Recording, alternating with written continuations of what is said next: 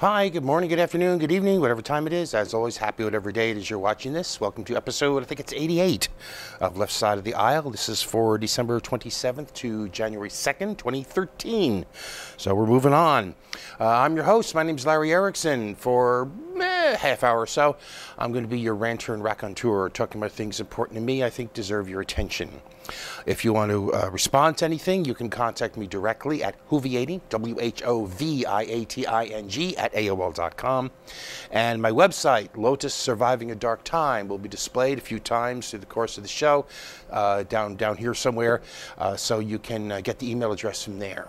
If you email me, please include something like your cable show or left side of the aisle or some such thing so that I know it's not spam.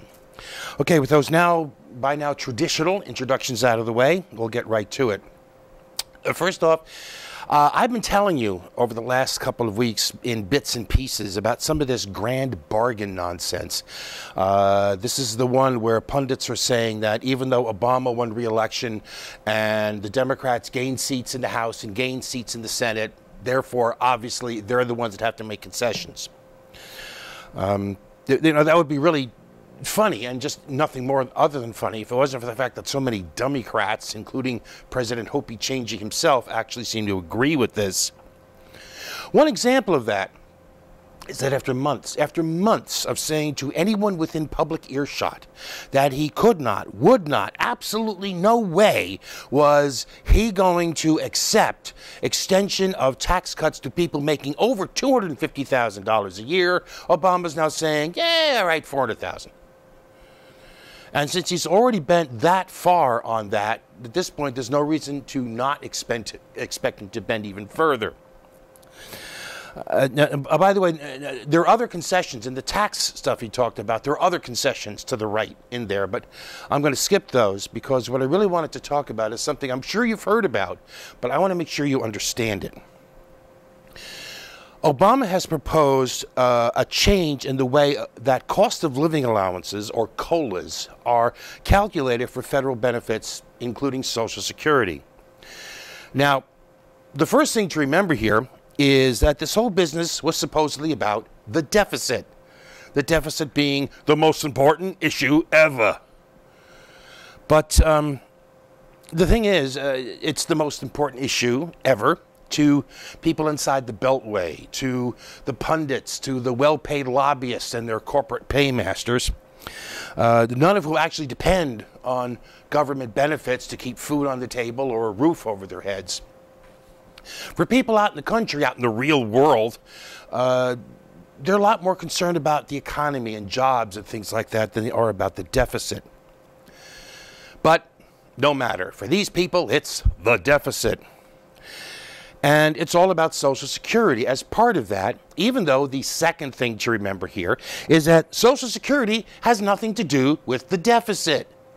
It's got its own independent rev, uh, revenue stream, the payroll tax. It does not take money from general funds. It does not add a single penny to the deficit. But still, despite that, Barack Obama has proposed cutting about $112 billion in Social Security benefits over the next 10 years.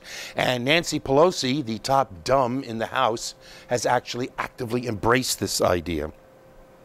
Now, again, what this method is, it changes the way the cost of living allowances or COLAs are calculated for things like Social Security. Now, COLAs have always been calculated based on the CPI, the Consumer Price Index. That is, it's the standard measure of inflation that we use. The proposal is to change this to using what's, what's called chained CPI. Now, chained CPI is based on the idea that consumers' purchasing choices change as prices change. Uh, it assumes, in the most commonly used example, that if the price of beef goes up too much, you'll switch to a cheaper cut of meat like chicken, for example. Now, on its face, that doesn't seem like a particularly outlandish assumption, but this is the effect. Now, uh, now for the, I should tell you, for this example, it's going to be very simplified. I'm only using really two commodities, beef and chicken, as opposed to a whole market basket. And uh, the prices I'm using are they're arbitrary. They're just for the point, just, just for the illustration, okay? So suppose the price of ground beef, say, goes from $4 a pound to $5 a pound, and you're deciding that's getting kind of pricey for you. So you're going to switch to chicken, the price of which has gone from, say, $3 a pound to $4.50 a pound. 450 still less than 5, so you're making the switch.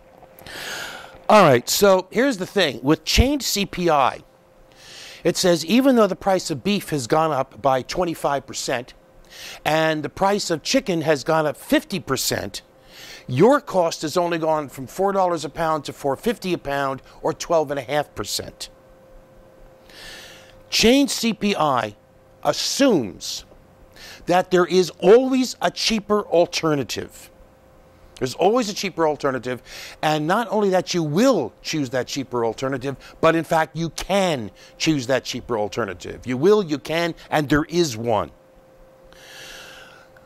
The result is that by its very nature, chain CPI always, invariably, will produce a lower inflation rate than traditional CPI, again, Consumer Price Index.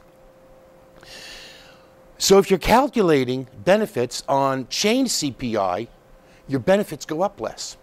It is a cut in your future benefits.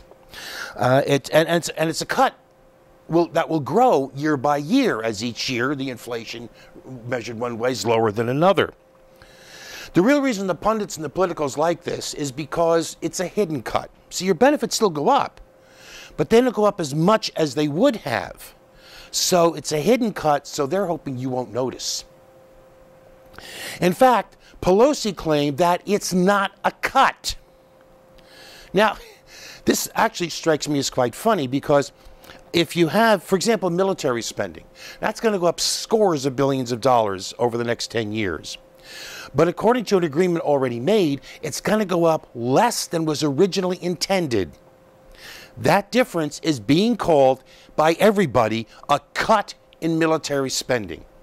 Now, if the military budget going up less than was originally planned is a cut, why isn't the fact that your benefits are going up less than originally planned also a cut. But in fact, uh, what Pelosi did is she echoed the right wing blather that this actually strengthens Social Security. Yeah, cutting benefits strengthens the program.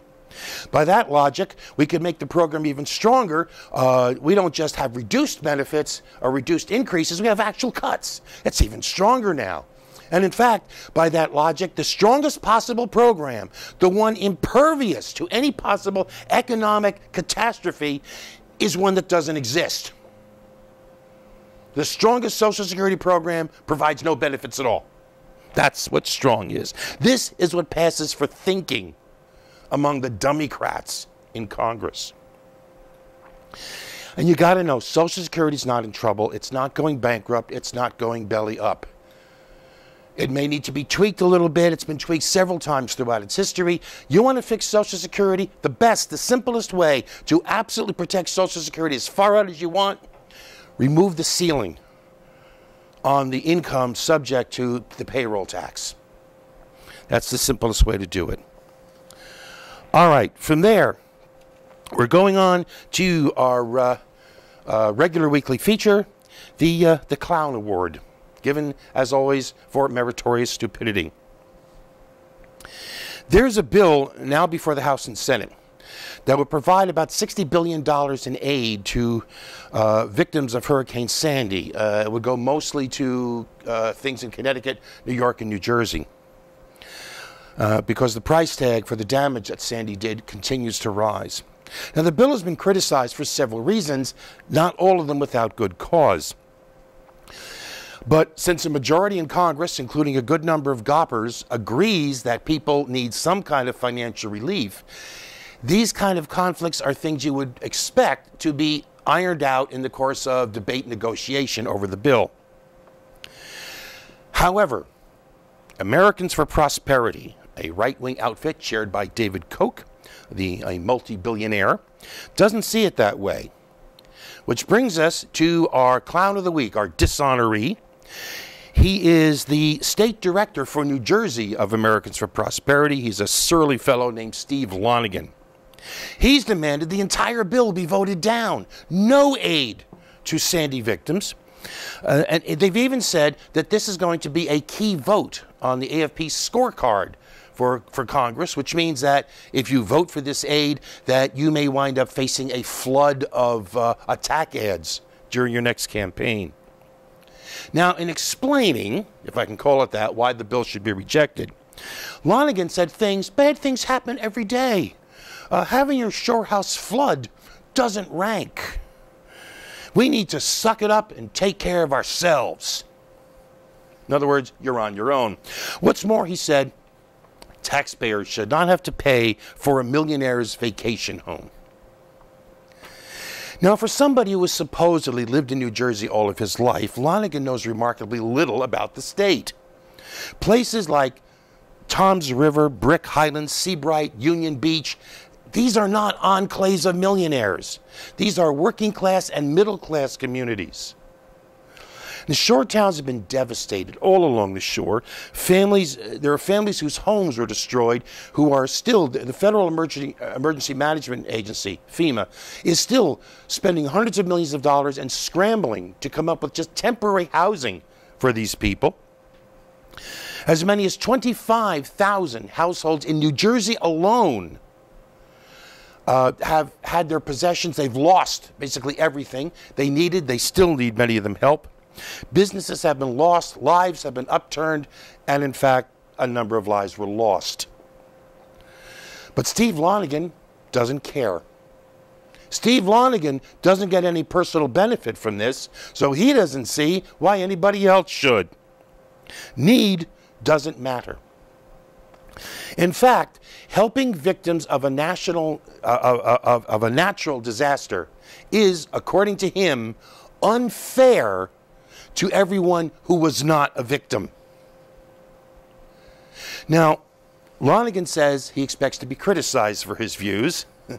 you got that right, fool. But what really nailed down his nomination for the award was this. Why should the bill be voted down? Because, he said, everyone is screaming about the deficit. No, Dumbo, they're not. It's, as the saying still is, it's the economy, stupid.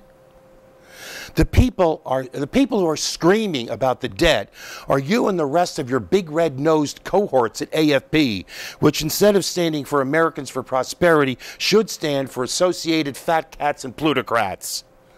Steve Lonegan, you really, really are a clown. All right, one last thing before we go to break, because I wanted to get this in because I have to tell you this. I have to take a moment to tell you that I told you so. I did. I told you. As early as November 2011, just two months after Occupy Wall Street moved into Zuccotti Park in New York, and sparked the entire nationwide Occupy movement. Even then, I was telling you that government officials, uh, from feds down to local cops, were coordinating and cooperating on efforts to drive out and break up those encampments. I told you that the claims the officials made, the methods that were used, and the language used to justify those methods were too similar across the country for this to be a coincidence. Well, now we know for sure. Documents pried from the FBI by a Freedom of Information Act filing by a group called the Partnership for Civil Justice Fund show that the FBI and the Department of Homeland Security, the Department for the Protection of the Fatherland, we're coordinating with local police to uh, keep track of, spy on, and deal with Occupy protests. In some of those FBI files, even nonviolent protests were described as criminal activity and even domestic terrorism. In fact, the surveillance began in August 2011. That's the month before the first Occupy encampment at uh, Wall Street in New York City. And this was done even as the feds, in their own documents, acknowledged that organizers wanted nonviolent protest and did not approve of any violence that occurred during the protests. And the thing is, it wasn't even just law enforcement. Uh, the same record showed the feds coordinating with banks and other private firms about possible protest, and even the Federal Reserve in Richmond got in on the act The Federal Reserve Bank in Richmond was sending information to the FBI about things it had learned about Occupy.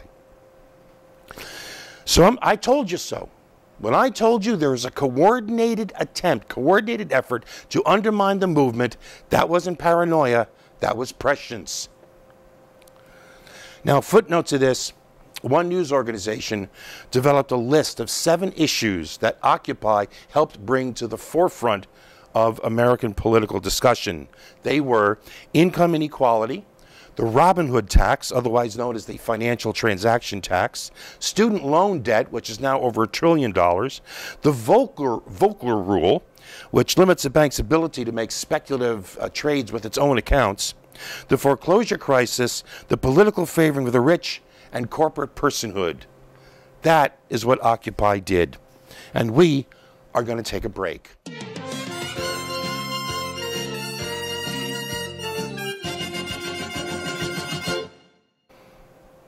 And we're back, uh, which you can see.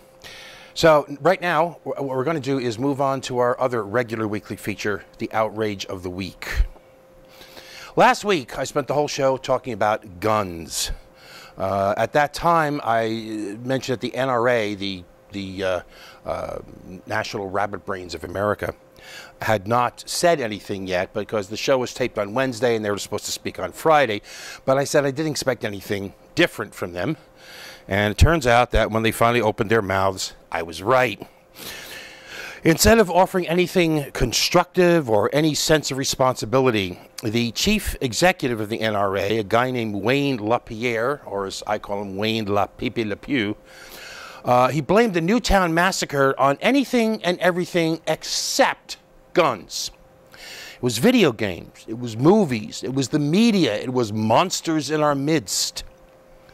Now, you know, this just Let's consider the fact, for example, video games and movies. Or, you know, violent video games and violent movies are shown in nations all around the world without producing the level of bloodshed we see here. In fact, some of the most violent movies and video games are seen in Japan, which has practically no murders at all, no gun violence at all. But even so, all that was just prologue. LePape Le Pew's central uh, contention was that the problem really is that there are not enough guns around. There are not enough people packing heat, including in schools.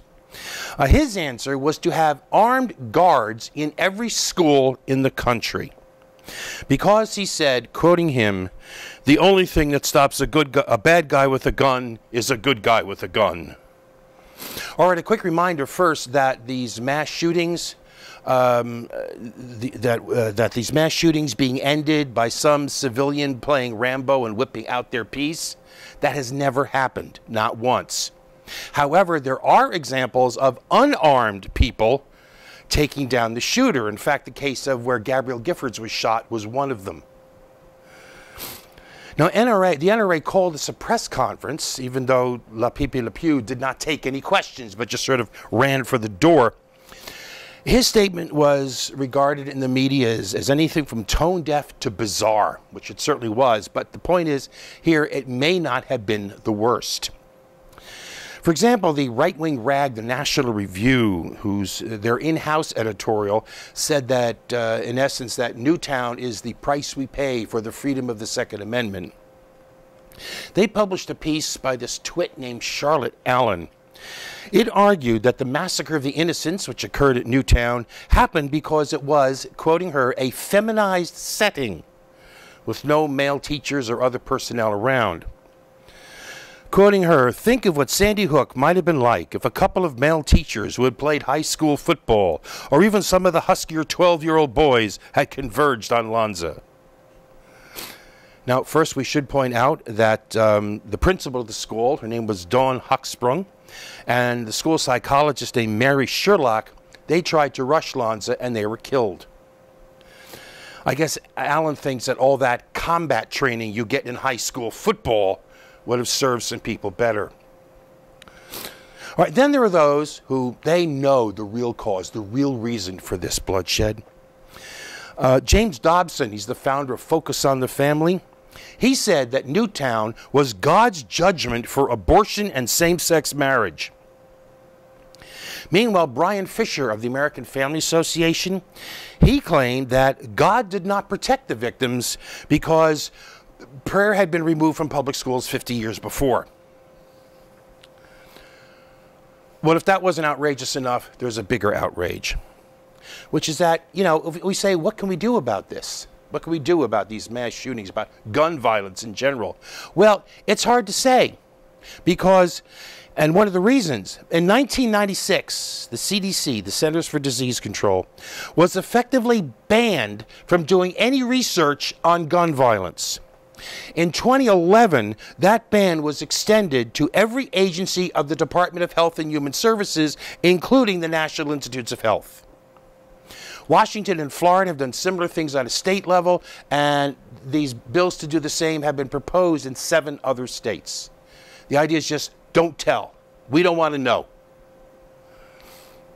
But the biggest, the biggest outrage is the violence itself. As of Christmas Day, there had been at least, at least 190 people killed by guns in the United States since Newtown. That's an absolute minimum. It's based on news accounts. It's an absolute minimum since Newtown. What's more, there are about roughly 36,000 people killed in car crashes and car wrecks each year in the United States uh, and about 31,000 killed by guns. So, you know, it's about it's about 11.87 auto deaths per 100,000 people and about 10.19 per hundred uh, gun deaths per 100,000 people. So, you know, there's still more people killed by car accidents than by guns. However, Deaths by car accidents are down 31% over the last 20 years, while the number of people killed by guns continues to rise.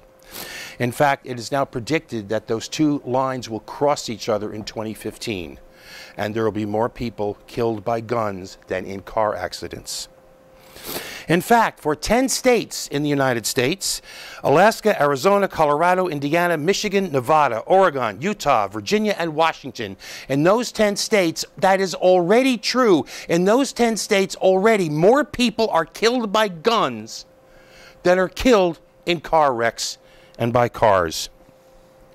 And quite frankly, if you can't find that to be an outrage, then either you're one of those monsters that Wayne LaPepe Le Pew was t- telling us about, or you're Wayne LaPepe Le Pew.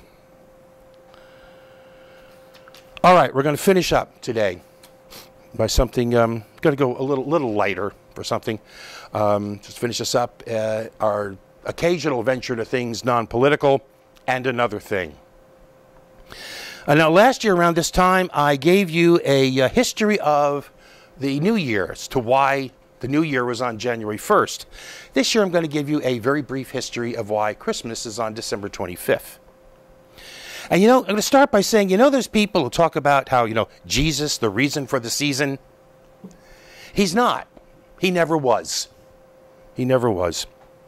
See, in prehistoric times, uh, people, you know, would, would see the sun and they believed that things like the sun acted willfully, and they'd see the sun sinking lower and lower in the sky over time as winter approached, and were afraid that one of these years that sun may keep going until it disappears below the horizon, leaving them in perpetual darkness and cold.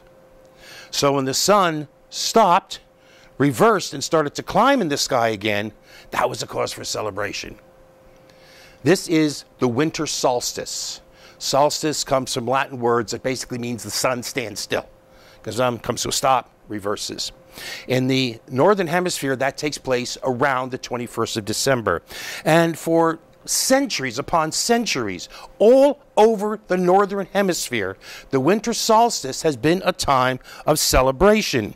Ancient Egypt celebrated. Ancient Greece celebrated. In fact, in the ancient, really ancient Greece, the earliest times, it actually involved a human sacrifice. But it was celebrated in Greece. Uh, the Druids celebrated. Iran, it was celebrated in Iran. Uh, Native American peoples, including the Pueblo and the Hopi, they celebrated it. In pagan Scandinavia, it was known as the Yule this season.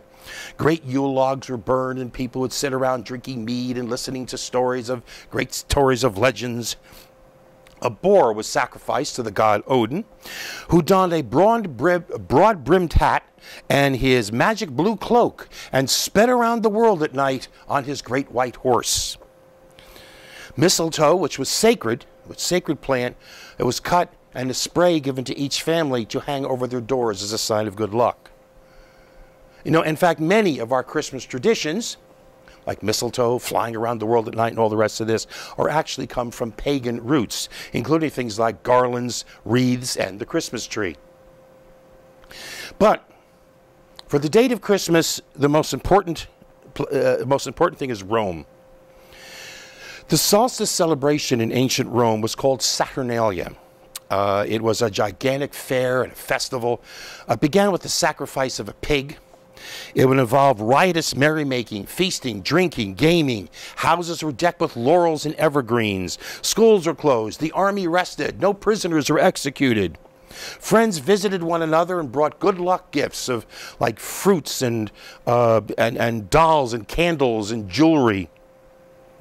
Temples were decorated with, with evergreens. And there'd be processions of people through the streets with blackened faces or wearing masks, wearing fantastic hats, just dancing through the streets. Masters feasted with their slaves who could do and say what they liked, supposedly. Within Saturnalia, one particular day, December 25th, was set as the birthday of the unconquered sun. Now, before Christianity became the official religion of, of, the, of Rome in the fourth century, Christians who wanted to celebrate the birth of the man that they regarded as their savior had to hide the fact because being known as a Christian could get you killed. Well, the thing is, no one knows what time of year Jesus was born. Definitely wasn't the winter. Uh, in fact, it was most likely the spring because that was the time shepherds were most likely to be watching their flocks by night. That was to protect the newborn lambs from the wolves, and they didn't do that in the winter. So we know it wasn't born in the winter. But the point is then, since you don't know when he was born, the date that you choose to celebrate his birth is it's symbolic and it's kind of arbitrary. Just whatever date you choose. So if you're going to do it that way, what better time to do it than during Saturnalia when everybody else is feasting and celebrating so no one will notice you? And what better date than December 25th, already a date of feasting? Uh, by about the year 350, December 25th had been adopted in Rome as the um, day to celebrate the Christ Mass. Gradually, most of the Christian church agreed over time, and the merry side of Saturnalia was adopted to the observance of Christmas. By 1100, Christmas was the peak celebration of the year across all of Europe. That is why Christmas is on December 25th. Now, I can tell you very quickly that uh, um, Christmas got off to a rocky start in Plymouth.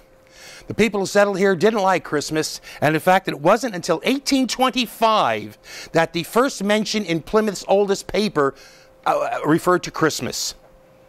But by 1860, there were ads for Christmas gifts, and by the end of the 1800s, Christmas was the big celebration in Plymouth.